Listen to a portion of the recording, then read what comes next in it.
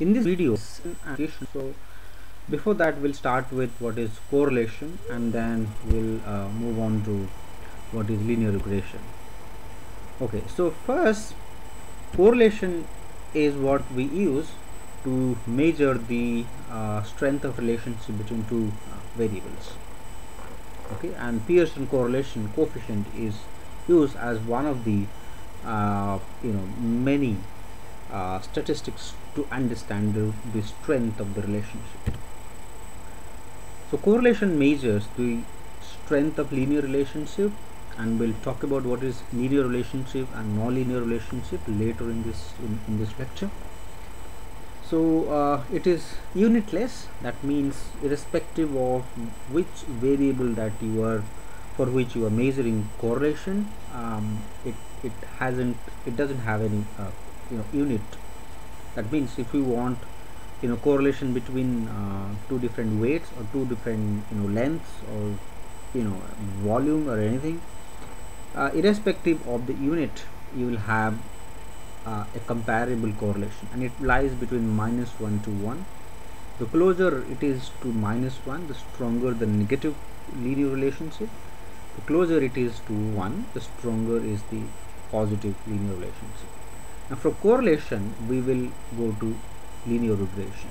Okay so correlation measures the uh, linear relationship between two variables. Linear regression also does more or less the same thing but there are many additional things that you can do with linear regression that you cannot do with correlation.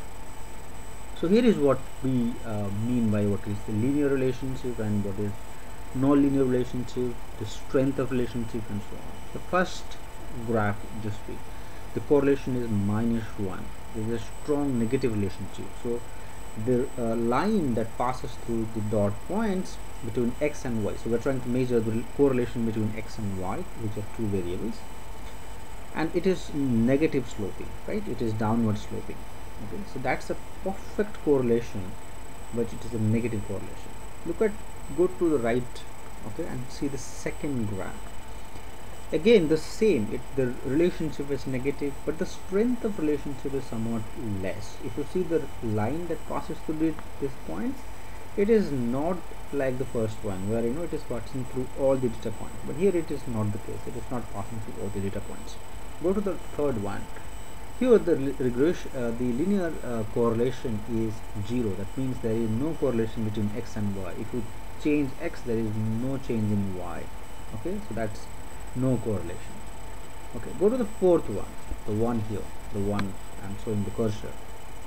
So here we have again much like the first one it is also the same strong correlation and the correlation coefficient is 1 but it is upward sloping. So it's a positive relationship. X x goes up so does y.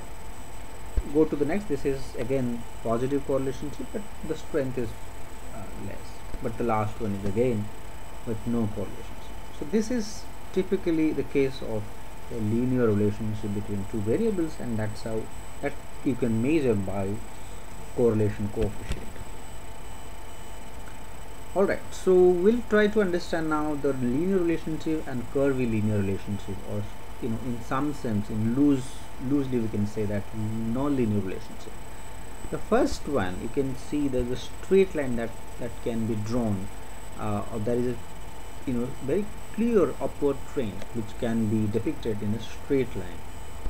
But if you go right you see you know if first there is a upward trend and there is a downward trend it is not linear because it is changing the path. And we can not fit a linear line rather we have to fit a curve. So that is non-linear or curvilinear. Similarly third one again it is linear. Downward sloping but linear. Fourth one non-linear because it's not a straight line that actually can pass through these data points. It has to be a curve and that's why it is curvilinear. So this is the difference between linear relationship and curvilinear relationship.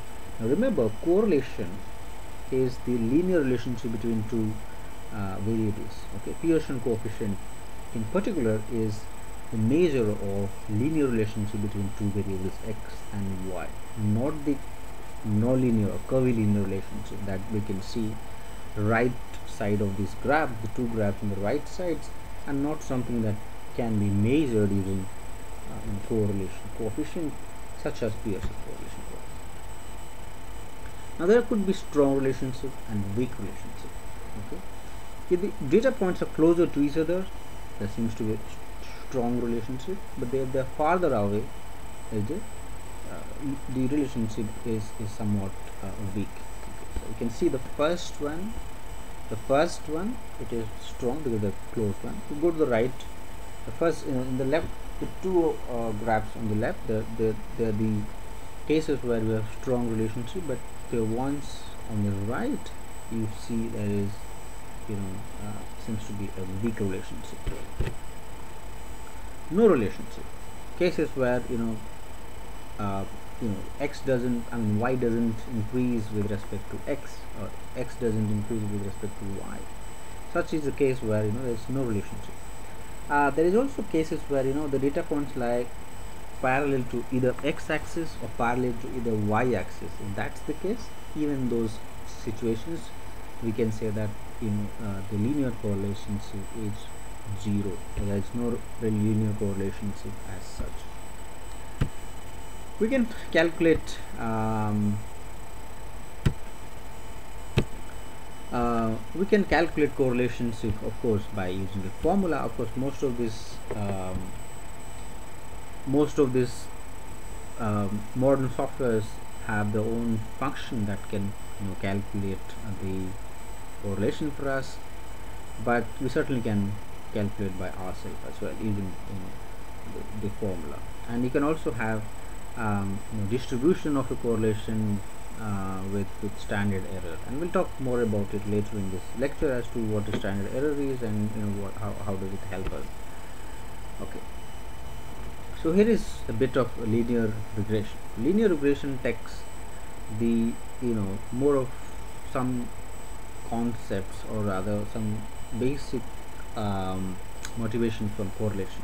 It also tries to find out relationship between two or more variables okay? While correlation is more most of the times uh, between two uh, variables um, I mean uh, at least the um, at least the popular ones linear regression on the other hand can include uh, more than two variables okay? Secondly in linear relationship uh, in linear regression you have a dependent variable and you could have a set of independent variables. And we'll talk about what dependent and independent variables are there's no such concept in in correlation.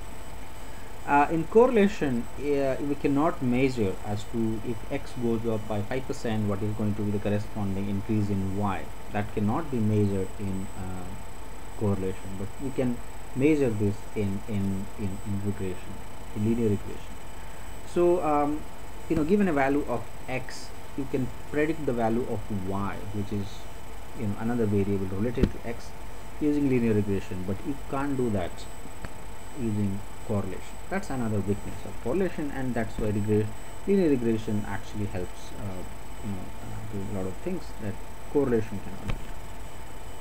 So there is an uh, example.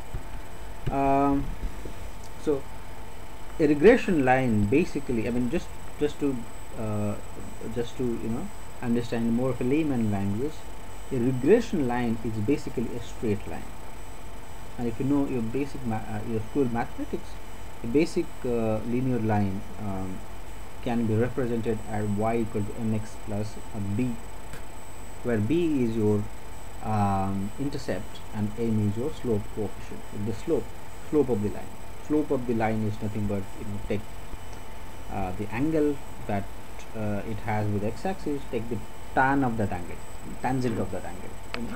And that's nothing but your slope and the intercept is just that where it cuts the y-axis you know just measure the distance from the origin that's your um, intercept okay? And you can represent that with y equal to mx plus b and then you know given the value of x and of course you need to know what m and b are and we'll use that as an estimation process from the data.